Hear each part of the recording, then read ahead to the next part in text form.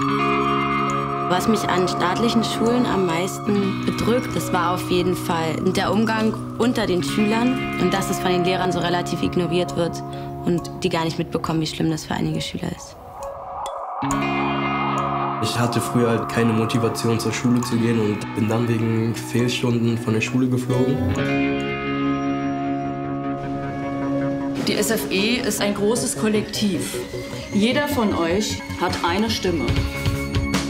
Ich freue mich, mit euch zusammenzuarbeiten. Wir haben weder Direktor, Direktorin noch irgendwelche Fachbereichsleiter. Wir alle und wir alle sind ein Teil dieses Projektes.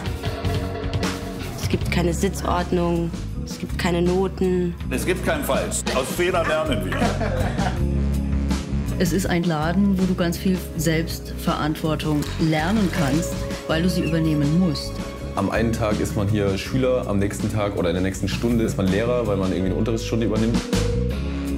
Warum kriegt ihr das nicht mal gebacken, heute alles da zu haben? Jetzt ist die Zeit von Output. Ich will es mir auch selber beweisen, weil ich weiß, dass ich kein dummer Mensch bin.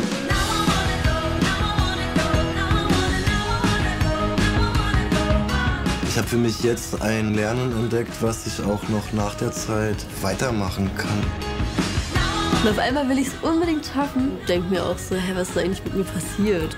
Man muss selber von irgendwas begeistert sein. Man muss das vorleben. Dann ziehen die Leute mit und freuen sich.